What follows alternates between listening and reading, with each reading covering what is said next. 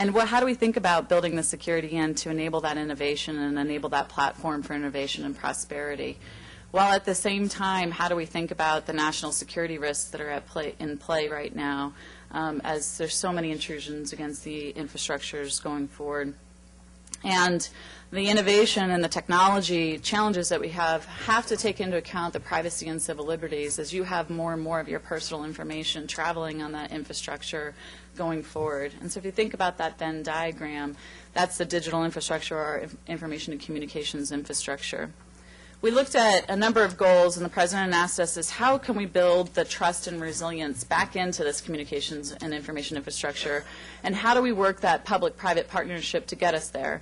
The private sector owns and generally operates this infrastructure of which the government is inherently buying the services or buying that uh, capability from you.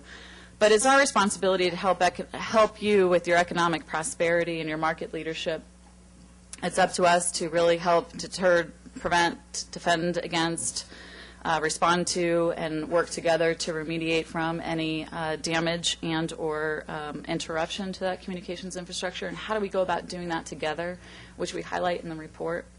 How do we continue to operate in cyberspace to meet our national goals, and whether that is to the next, um, how do we start to strengthen the Cyber Crimes Convention toward um, how do we uh, appropriately negotiate for stronger standards um, in the international domain so that we have stronger security in that backbone of our infrastructure.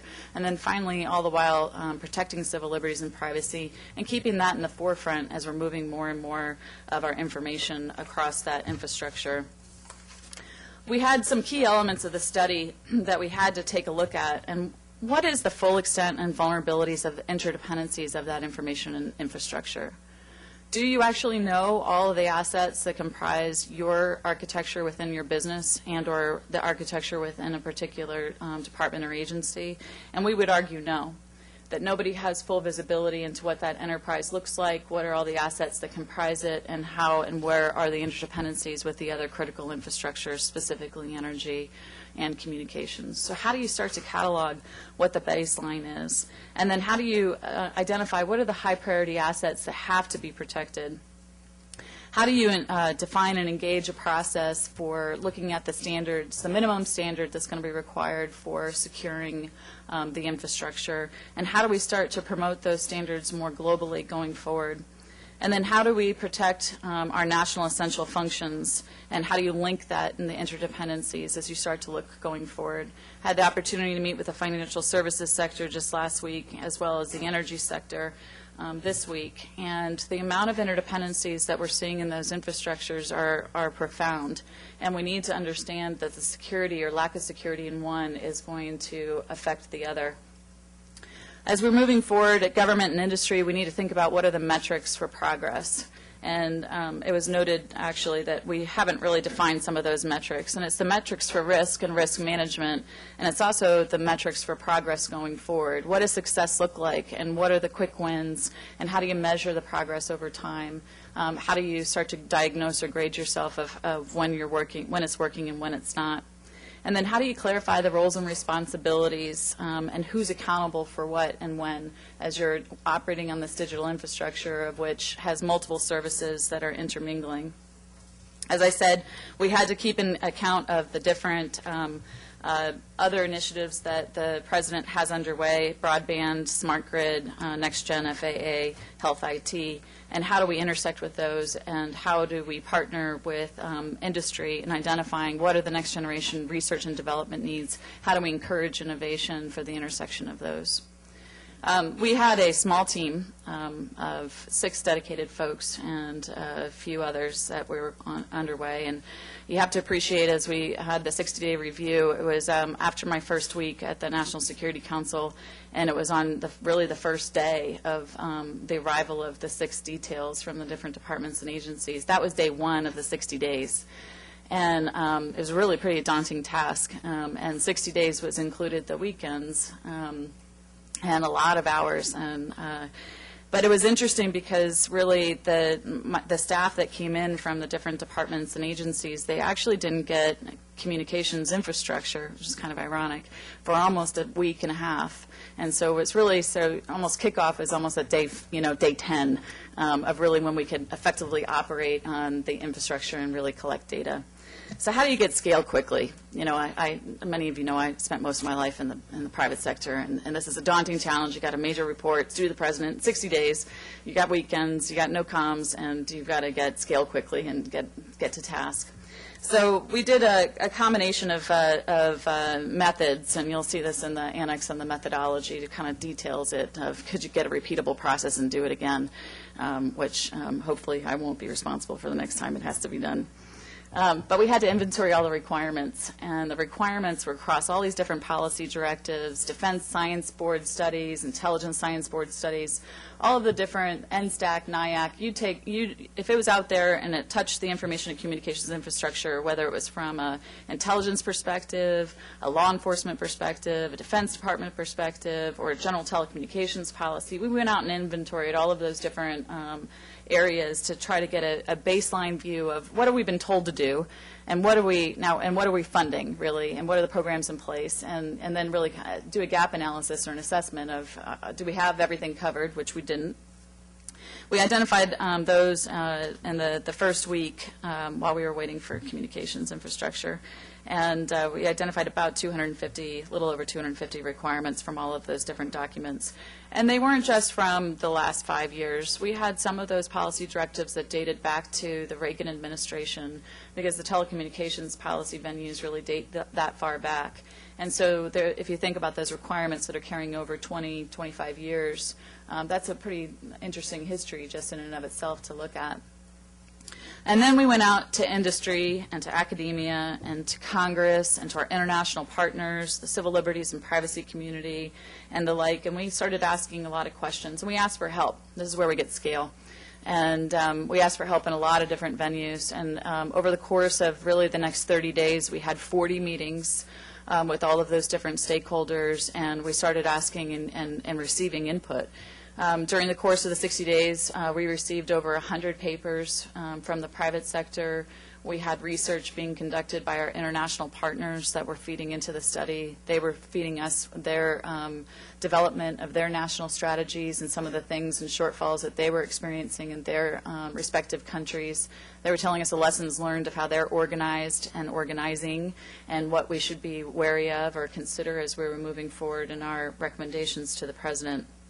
And um, we learned a lot from the papers, and you'll you'll see those papers all reflected in the study. Many of them are footnoted. Um, the majority of the papers that we had that were um, that were we were given permission to release, they're all up on our website, and so you can go and you can review them. Whether it was a view on smart grid or whether it was a perspective from the civil liberties and privacy community, the National Research Foundation. And National Science Foundation uh, had uh, 50 universities that they pulled together that um, informed the study. And for me, that was a in- very um, uh, great experience because the, the institutions that would normally compete against each other um, uh, all basically put their competitive nature aside to co- co- collaborate and, and partner on what are the really the research and agenda and what does it need to be and how does academia um, perform. So then we started to identify our gaps and conduct the analysis, and as Jim said, we did actually complete it on April 17th. There were a number of annexes that were um, a part of this uh, report, of which um, uh, we have uh, published some of them on the um, uh, uh, openly. Um, we had the methodology to help, you know, couldn't you get a repeatable process? Could you do this again? And, you know, and, and just document all the things to get this scale we talked to the uh, growth of the modern communications, and for me, um, this history annex is very informative. Um, if you haven't read it, I would recommend it. It actually tells you how we got here, and it's not we didn't get here overnight. We got here over the last 150 years, from the um, uh, from the uh, telegraphed to the telephone to satellite communications, to uh, wired and cable, cable um, now to the wireless and then internet. Um, and it's interesting because internet-based uh, communications haven't been defined as a communications regime. And so we need to address that going forward. But if you think about it, each technological innovation then vested statutory authority within a different department and agency. And then there was a new civil liberties or privacy concern that had another new law that came up. Um, and then you'd have your next technological innovation, and you'd give the authority to yet another department or agency. And you, so you can start to see the patchwork of the laws, and the laws were never clarified over time. The statutory authority of the departments and agencies were never clarified over time.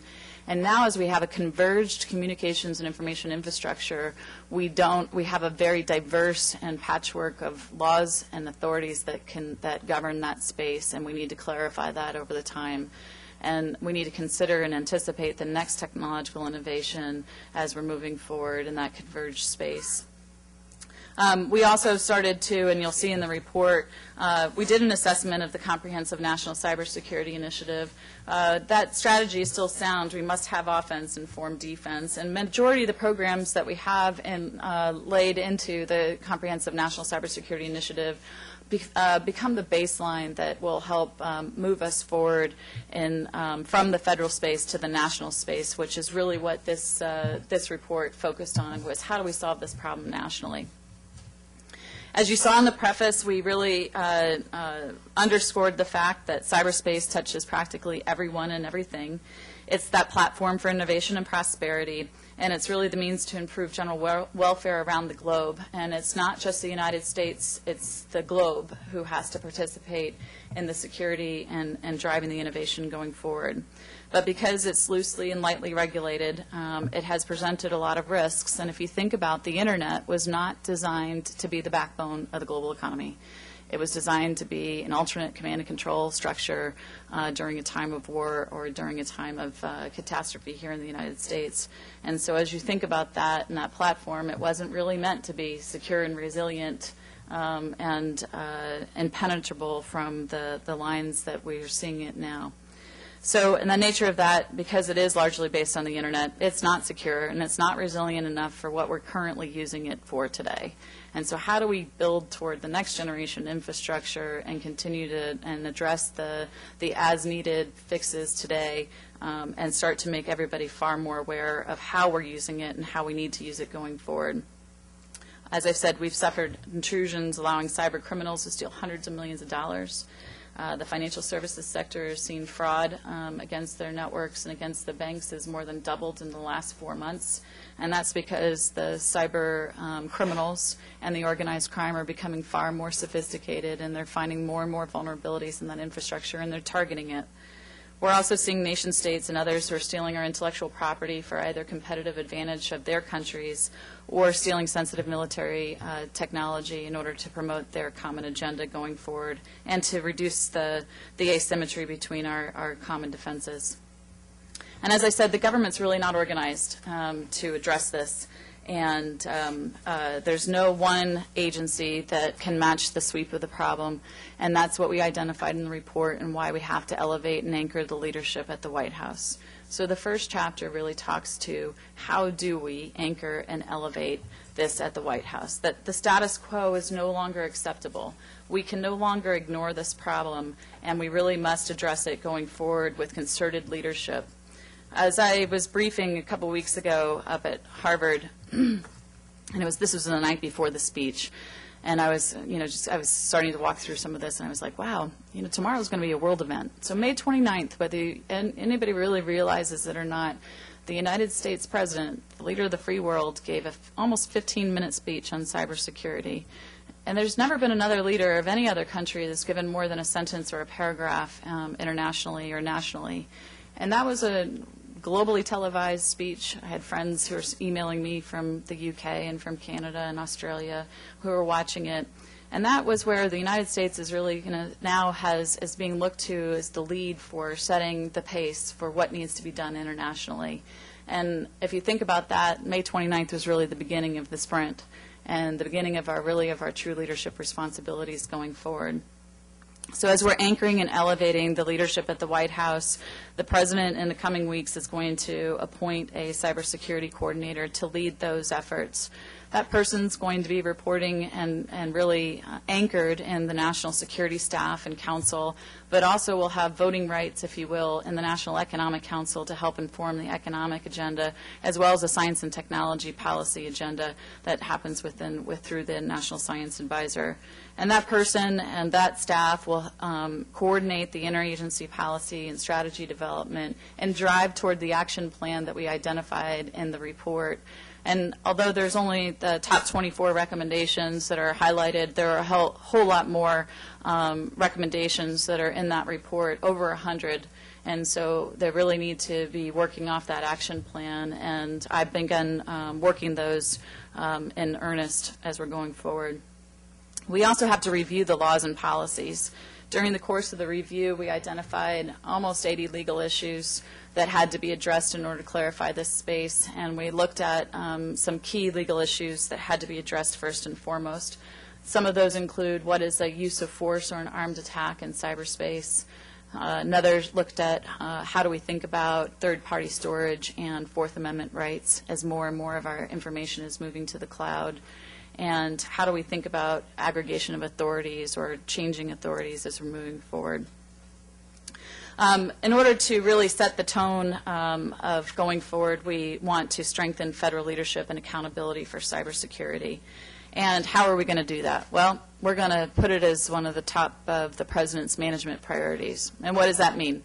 Um, so the decoder ring around that is is that that makes every department and agency head and deputy head at the suite level are now responsible for cybersecurity at the same level as um, human capital management, as uh, responsible fiscal uh, management, and it'll put it there at the top five things that they have to be responsible for as part of their core mission. And when you make it as part of their core mission, it's something that they're accountable and responsible for to reporting to the president on, um, like money and like people. Um, it starts to bring a new profound focus at all the different departments and agencies where they're all weighted the same, not whether or not you have a mission in that area. We also are going to be designating a privacy and civil liberties official within the national, um, uh, the national security staff to um, inform that cybersecurity portfolio.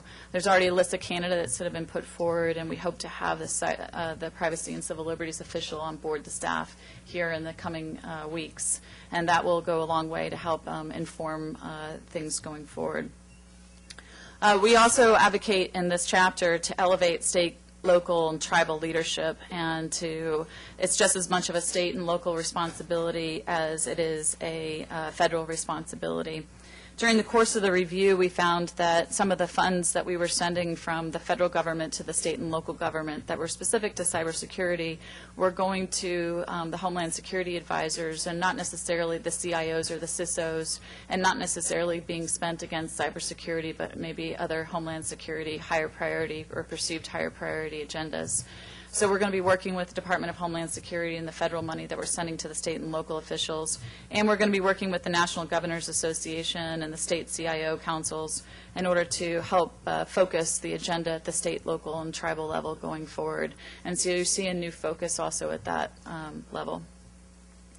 The second chapter talks to how do we build capacity for a digital nation. And, um, and, and I like to think of this as, you know, the digital maturity and, um, of a nation. And, and if you think about our digital maturity, maturity and the use of this infrastructure, we're still digital infants. And how do we mature quickly um, on this infrastructure? And what does it mean to be a digital citizen in the digital age? And what's our responsibility to make sure that there's no digital disaster? And um, so we look at this as we must increase public awareness. And in the coming months, this is one of our high priority items. We're going to be Nash, uh, working a public education and awareness campaign to promote that digital literacy, what it means to be a di digital citizen now. And we'll be working with the National Ad Council, the Department of Homeland Security, the National Cybersecurity Alliance going forward, and how do we start to work that agenda we're also going to increase cyber education and, um, and the focus on cyber education, and this would be consistent uh, with also the science and technology agenda, that we need more trained um, people across the board, not just at the university level, but we need to extend it from the K through 12 programs. There's a really good, effective program that's being advocated for of this digital ethics and digital citizens through the National Cybersecurity Alliance, And um, I know because it's in my kids' school. So my boys are eight and nine. They're getting ready to finish second and third grade next week, and they can't wait to get out of school. And um, but in their school, they have these posters that are, you know, what does it mean? How do you stay safe online? And what is a digital predator? And why don't you give away the password? Or why don't you tell people where you live? And if you think about all the social networking, and I'm sure a lot of people are in LinkedIn. LinkedIn?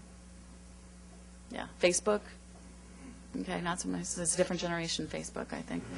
Um, you know, and so you got to think about what you're putting out there online. You got to remember that, you know, I came, at least my last couple years, in the intelligence community. And um, I didn't really think about it so much in my business life um, because it was really the social networking. But you know, it's like I had somebody invite me to be on LinkedIn. I was like, I don't LinkedIn anymore. I was like, I'm I'm a target now. And um, so you have to think about how you're being targeted, whether you're being targeted from a predator as a kid, or you're being targeted from an intelligence service, from a competitor, um, and you know what is your social network, and um, and you need to think about what you're putting online and how much you're putting online, and and um, as we're moving more and more into this digital age, and you can start to geolocate people through the internet and or through your cell phone, we need to be thinking about the technologies and such moving us forward and um, broadly awareness and education.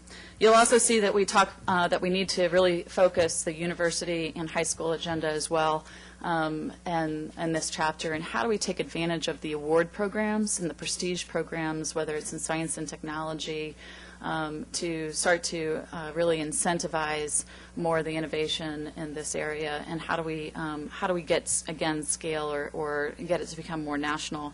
I like to think of this as what we did in the '60s for the space race, where we made science and technology cool. Um, and we had science fairs, and we had lots of things that were incentivizing um, every you know level of education to try to go out and learn and experiment and innovate. And we need the same um, level of attention now. The, we also talk in this chapter about um, expanding the federal information technology workforce and how do we start to get to a more versatile, more cross-trained workforce and the importance of that. Um, and I, I kind of uh, think of this as sort of like the, the GE model where you had to go and you trained in each of the different divisions so that you were as a new employee and you get that. Well, what if you had the same for beyond joint duty the way we think about it today, but you had a, um, you had a tour as a CIO and then you went as a tour as a CISO and then you went and you performed in the law enforcement or the analytic kind of area and you started to have cross training across the different disciplines and then you start to have multidisciplinary approaches to things. Right now we're still too stovepiped in the way we think about it. CIO, I need to keep my, my pipes alive. My CISO, I need to make sure that the data is secure on those pipes. Um, the analyst just needs that information so they can start understanding who's the threat to that pipe. And we need to really have a much better comprehensive view of the, the knowledge, skills, and abilities of our workforce and get them cross-trained so that we have a more versatile um, workforce going forward and that we have less translation going on between knowledge, skills, and abilities in these job categories. We also talked to the importance of, um, in this chapter, of that we need uh, not just a focus on uh, the recruitment, but more so the retention. And um, because once we get somebody who's cross-trained, um, they become a very lucrative opportunity for them to go to the private sector or elsewhere. How do we retain that talent in the government? And I don't think we do such a good job, um, and certainly not at the senior levels of once we get them to the senior level, how do we keep them at the senior level and driving more change? The last part of this chapter talks uh, to the need for more enterprise or, or private sector leadership. And it was interesting last week at the financial services sector meeting, um, and, and some of you have heard me talk a little bit about this of the monetize the risk. But in the financial services sector, you have a data breach. The data breach is you're losing money. And so there's no kidding input and output, and it's quantifiable. But if you're in the defense industrial base or you're in the pharmaceutical line and you have a data breach, your data breach could have been something, your intellectual property that, um, you're, uh, that you've been investing in for the last 15 years. Do you have the ability to quantify what that loss is, what the time to market, what the, the future sales would have been if uh, you're not first to market? And we need to really start to make um, uh, all of our uh, industry aware of the, all the threats, not just the internet-based threat, that are in their um, their vertical lines of business, and start to get to uh, the the input output or the equation. And I think that this is a key area of research going forward. And we need metrics, and we need the way to th- the methodologies by which to collect the data, and we need the the items going forward.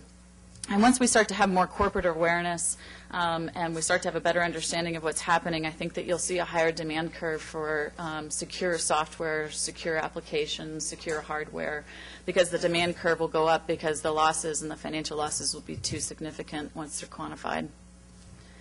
The third chapter, we talk to um, sharing responsibility for cybersecurity and that we can't do it in isolation. Who's the we? Well, the federal government can't do it by itself, um, and the government, period, can't do it by itself. It's got to be done with the private sector. But we also can't do it in isolation, that this is truly an international problem. And so we talk in this chapter really into three categories. The public-private partnership, how do we improve that public-private partnership um, going forward? How do we think about the negotiations going forward of the value proposition of what's expected of both parties?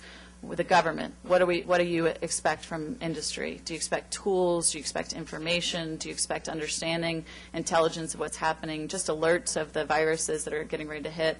Um, and how do you think about that? From the government asking the private sector, it's again, it's almost a similar ask: the tools, the information sharing, um, the response strategies of how do we start to make these secure and resilient. We need to have improved dialogue in the public-private partnership. We need to start to build toward trust in this environment in, a, in an area where I think there's not enough trust, and but trust has to be earned over time, and it has to be earned through um, through little events and then leading to big events. Hopefully, it's not a big event first. We also need to think about the barriers impeding, the, uh, impeding that evolution of the public-private partnership. Um, despite the fact that the government um, strengthened um, FOIA through the Critical Infra- Infrastructure Act, we um, uh, there's a perceived lack that, that FOIA is still not strong enough, and that if you give us proprietary information or vulnerability data, that we won't protect um, it in a, in, a, in a way that won't hurt your competitiveness. And that's a problem, and we need to address that. But we also found um, during the course of uh, uh, interfacing with you, the private sector, and looking at the legal problems, but problems such as the Conficker worm, which during the course of the review that was supposed to be weaponized and released on 1 April, and um, there were a lot of, uh, if you read in the report, the government was less than 50% patched. And so if it had been weaponized, that would have been a pretty significant problem for a lot of our departments and agencies. There were some state and local officials who weren't patched and actually were brought down offline for like over a week. And that was pretty significant.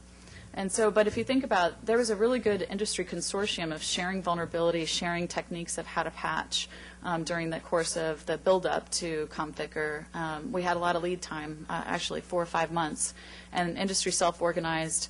Uh, government was late to join the organizational um, uh, bandwagon, if you will. And um, but the thing that was interesting is, is that was a perceived antitrust violation. And so if we need to secure our infrastructure and we need to share information about common vulnerabilities to ensure that we can deliver services on a day-to-day basis, we need to look at the law and have the law migrate to the 21st century so that we can do what needs to be done to protect the country and to protect your corporate viability. The last area was talking to the, the partner effectively internationally. And there's an international annex to the report um, that, and uh, to the extent that we highlight it here, there is more than 20 international venues that are deciding the future of cyberspace. And that's just what the government deals with. I'm sure there's probably some order of magnitude more for the private sector.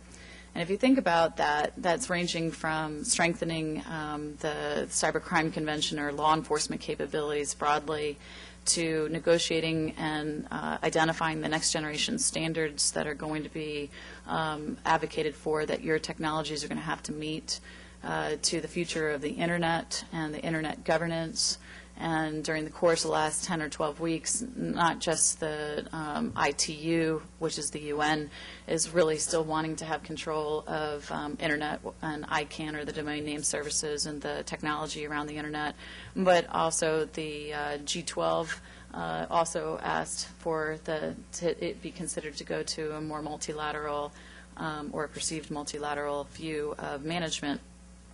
So if you think about all of these different venues, and that the fact that the Department of Commerce is representing uh, the United States in one venue, Department of State is representing in another venue, Department of Justice in a third, Department of Defense in a fourth. Sometimes it's a combination of those. Sometimes it's a yet another department, USTR. Um, we need to get a common and comprehensive view of what is the international agenda, what are the alliances that we need going forward, who are the new international partners, what, are, what, what do we need, what do we want, um, and start to think about it in a completely new way of going forward. And, um, and then what are the information needs that are going to be going into ensuring that our negotiators and our delegates are well prepared uh, going forward? And how do we collect that data? How do we prepare them for the negotiation? Um, and there's just a lot of work that needs to be done internationally. And I see this as actually one of our most strategic um, uh, objectives and agenda items, and we're the furthest behind on it. And so it's one that I'm personally focusing a lot of attention on. The fourth chapter talks to uh, creating effective information sharing and incident response, and how do you build that framework for an incident response. Now, many of you know that the Department of Homeland Security has the National Response Framework, and they're responsible for creating the cyber um, annex or the cyber response annex to that. Um, we don't have an annex currently. Um, we uh, need to have one, um, toot suite, by the end of the year. And, um, but it can't just be a federal incident response plan. As we, if you go back, the private sector is owning and operating the infrastructure. So how do you get a public-private incident response plan?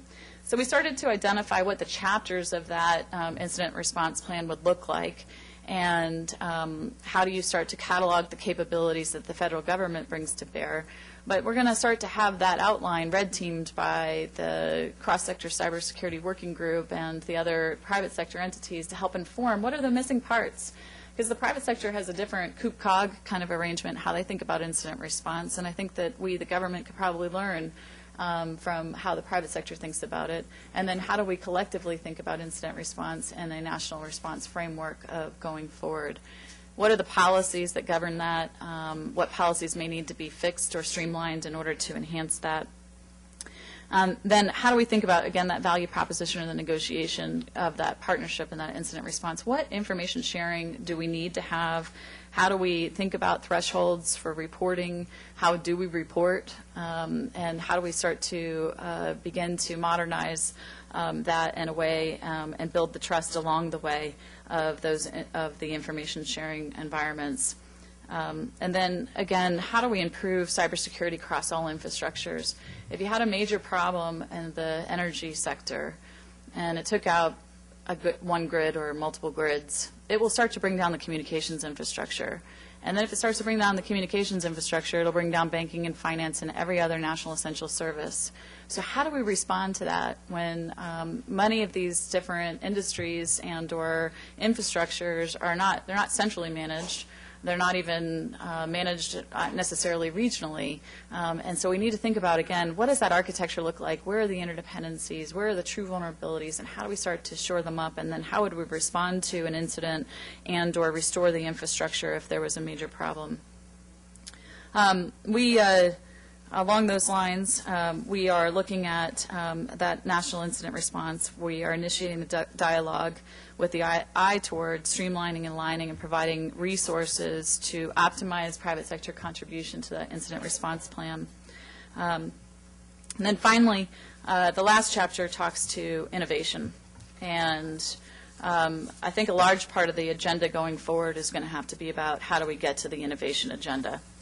And um, I was on the phone today with the energy sector, and we were talking about really about legacy systems and the legacy systems, and we're we're doing um, really kind of the patching up the legacy systems. But they're not seeing a lot of innovative approaches to the patching of the legacy systems. They're like, here's a patch, we need to work this.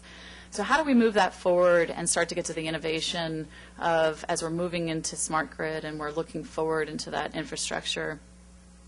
Um, how do you look at that future architecture and the future infrastructure, and how do we design toward the 10-year point or the 8-year point together? we have national security needs and economic security needs. There's interdependencies across these infrastructures. How do we work together with the private sector to, as you're building toward the next spec, start to look at together what do we need um, going forward? How do we link our research and development framework and infrastructure development to those that desired goal? Um, in the past, our research and development agenda hasn't necessarily been linked to a common goal. And then how can we start to amplify the research and development doctor, uh, dollars that the private sector is going to bring to this, um, and so that we can have almost a one plus one equals a greater than the sum of their parts going forward. The government has an inherent need for um, identity management to get to attribution or to be able to uh, be able to track people from uh, law enforcement or from compliance and such. Um, but there's also a need for uh, privacy and anonymity on this infrastructure. And so what privacy enabling technologies are out there that can help us get to identity management as well as that uh, uh, anonymity or privacy going forward? And then we also need to think about the globalization policy and supply chain um, security. And how do we start to think about not just who designs uh, the whatever the uh, technology is, who builds it, who fields it, uh, but then who upgrades it, who manages the service afterwards, and where might there be opportunities to introduce vulnerabilities along the way. How do we use the power of government procurement um, to uh, define a higher standard by which it would then drive the market to meet? How do we start to pair those dollars up also with the state and local procurement um, as they're using a lot of the federal buying um, schedules, and so that it starts to reduce costs and actually uh, demand higher standards for security going forward? And then finally, um, as I stated earlier, um, many of the uh, technologies are now um, IP-based, and our communications are now almost uh, all voice over IP. But the internet hasn't been declared a communications infrastructure yet. And so how do we continue to think forward in national security emergency preparedness? So for some of you, you have a GETS card. I have a GETS card, you know, government emergency tele telecommunications system, which requires, you know, that if there's a national emergency like 9-11, that, you know, the key government officials will be able to get through. They get priority telephone. It means the president gets to communicate if there's a crisis. Well, we need to be able to have the president be able to communicate in a crisis as we're moving forward um, with that internet-based uh, infrastructure, um, and but still recognize uh, the, the the need for um, balanced uh, competitiveness going forward. The uh, so a lot of people ask me what's new and what's different, and um, knowing my last role and, and going forward in the in the future role, and um, I'll just talk a little bit about that. First, we have presidential leadership. The president believes in this it's personal to him. He had a campaign intrusion. Um, he's Blackberries. Try, they try to hack into his Blackberries on a regular basis. They're targeting him, but the president believes in this. He's committed to the technology. He's he grew up on it. His campaign was based on it. This president is going to drive this forward, and it continues to be raised on a weekly basis. Uh, what else is different? It's, um, it's including the economic security issues. In the past, we've only thought about this as a national security issue. This is actually an economic security issue first and foremost that's going to affect our national security. And so how do we think about that and bring those, um, those different decision-making bodies together um, so they can both appreciate what they bring to the table? We need to really um, pay attention to the privacy and civil liberties aspects of this infrastructure. Um, we're putting more and more data out on that infrastructure. We're putting more and more data out into the services and into the cloud. What does that mean from a civil liberties and privacy perspective? What happens if there's a data breach in the cloud? Um, who's responsible for reporting it? Who's who's liable for that? Who's supposed to protect that data? Um, and a lot of those issues have not been tackled um, in a way that uh, would uh, modernize the way that we think about privacy and civil liberties. As uh, I was pointed out to me by a key privacy official, the Privacy Act of 1975 was built for flat files and had never imagined a computing world that we have today. So how do we think about those relational databases, the distributed data, um, the distributed storage of data, and how you can pair that data up from a civil liberties and privacy perspective? Those are hard problems that we're going to have to look at. We need to also tackle the foundational issues in the infrastructure and those interdependencies and how do we shore those, shore those up and, um, and try to encourage the innovation that's going to be required to shore those vulnerabilities up. And we need to look beyond federal networks. In the past, we've, uh, the past initiatives have been focused on heal the government first. Um, I think that, uh, as pointed out in the 60-day cyberspace review, it's a national look. Um, It's how do we start to heal thy nation and, um, and start to prioritize going forward. Our strategic priorities, we need to look at a unified approach to international engagement. The international forefront is, um, is where a lot of this is being decided right now. Uh, We need to uh, partner with industry to understand what's needed. We need to partner with new allies um, to think about what, how they are thinking about the problem. And one of the things that uh, I, uh, in addition to the use of force or an armed attack, one of the interesting things, and I encouraged one of the universities, this is a research program, is what's common and what's uncommon about this infrastructure. If you think about the commons, um, you know, you go out into the street and or a restaurant, you're expected to dress a particular way or wear clothes, and you're not supposed to have lewd behavior, and you know, and or drinking and driving um, is unacceptable as a commons, right? We're all sharing that infrastructure. Well, we don't have a view of what's common and then what's uncommon on that communications and information infrastructure. And until we can get that view, we won't get norms of behavior and we won't be able to get to that international environment where we can all agree to agree that that's the right thing to do.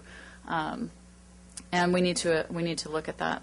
We also need to operationalize the partnership with industry. We've never really done that in a, in a comprehensive way. And what does that look like? Where are there successful partnerships with industry? Um, and uh, whether it's uh, different models. And we've looked at different models through the course of the view, review, whether that was something like an Intelsat or uh, the Red Cross, uh, FAA, uh, the Coast Guard. There's a lot of different public-private partnerships that have been operationalized, and what are the attributes of them that fit for cyberspace and this communications information infrastructure, and how do we move that forward um, to operationalize the partnership, and where can we start first? And then we need to really build capabilities to deter, defend, and respond to uh, these intrusions and potential um, damage to the infrastructure. And what does that look like? I think the last part I'd like to is uh, highlight is uh, President Obama is very keen on being transparent and open. And what's different from the past is that we made the almost the entirety of this open throughout the throughout the course of the review and post-review, and it's almost all unclassified.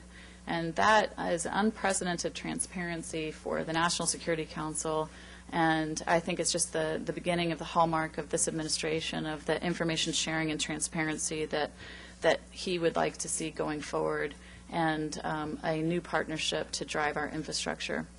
And with that, I think that that's going to conclude the majority of my remarks, and I will open it for questions few questions. Okay, Why don't I ask if you could uh, identify yourself, maybe stand up, and uh, we'll go with you first. Uh, Melissa Tony Rutkowski, I'm the International Cybersecurity Rapporteur Europe. Oh, Tony Rutkowski. Um, I contributed to some of the report through Tom, and uh, I chair an international cybersecurity uh, group in Geneva uh, in about 10 days, and there'll be people there from all over the world to work out the good stand. This is the good part of the ITU, so we're going to be working out the standards and the arrangements for cybersecurity. Uh, a significant number of those participants are from China. And these are people who seemingly want to form a partnership with us to achieve common goals. Do we have a strategy for doing that yet? And, or what would be your admonitions as to how to approach that? Well, I think that um, as far as the standards go, the majority of the world is accepts the, the industry-based, the IEEE standards of uh, going uh, IEEE and some of the industry standards that we advocate for um, going abroad. And we need to think about um, China's wanting to, to find some new standards in order to do business in China. And we need to start to balance of what are the right standards to go forward um, to uh, so that we're not having to have build to two standards, one for one country and another for the rest of the world. And um, so I think we need to effectively work with industry um, to uh, develop that agenda going forward. Okay, um, we had one in the back, then we have one in the front. Go ahead. Can we get that microphone over? I'm uh, Dan Fowler from Congressional Quarterly. Um, my question is about the quote-unquote uh, cyber czar position, and uh, many people I, who I've spoken to think that it's a good idea to have that type of position. but they're concerned that it's going to lack uh, authority, particularly budget authority. I was wondering if you could address that. Um, is this is this individual going to have budget authority, um, and, and what do you think about that concern that people have expressed about uh, the possibility of this person having a, a lack of authority? Um, The cyber security coordinator is, um, there's a list of uh, individuals being considered right now, and the position is still yet to be defined. However, in the report, you'll see that um, we recommend that the cybersecurity coordinator um, will be the lead for the policy development and coordination. Uh, The cybersecurity coordinator will have um, an an ability to affect the budgets working with OMB in the cybersecurity area. And, um, and again, that the cybersecurity coordinator will have a vote and/or influence in both the National Economic Council and on the Science Advisors Technology Policy Council.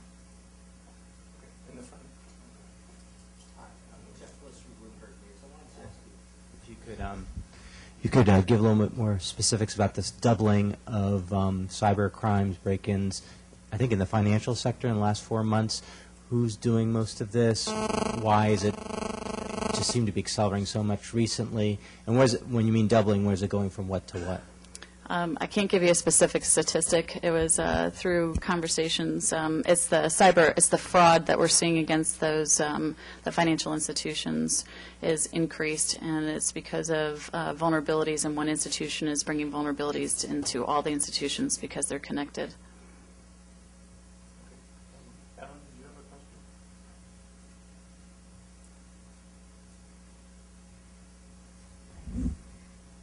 Hi, Melissa. This is Ellen Nakashima with the Washington Post. I have another question about the cyber coordinator's um, authority or role. As we know, the um, Pentagon is planning to stand up a new cyber command to unify the offensive and defensive capabilities in cyber cyberspace.